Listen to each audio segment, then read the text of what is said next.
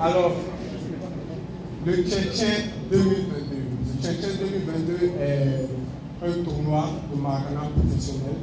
Nous avons décidé de rendre le Maracana professionnel parce que le Maracana est comme une culture pour nous en Côte d'Ivoire. Et euh, c'est la moindre des choses de, de le rendre professionnel.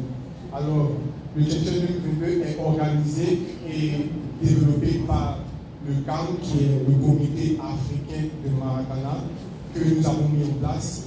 Et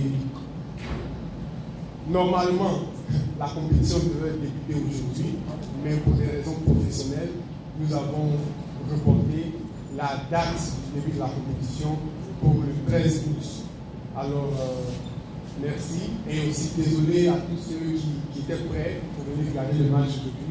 Euh, on vous promet que le 13 août euh, sera le match d'ouverture à Yopougon, au terrain tchétchèn.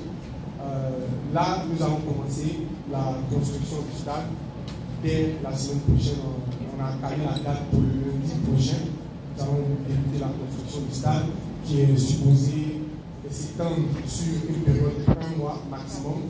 Et aussi, nous allons commencer la production des maillots.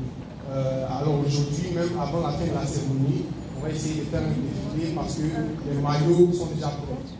Le Tchétchèn regroupe 24 équipes de 24 différentes villes et communes de toute la Côte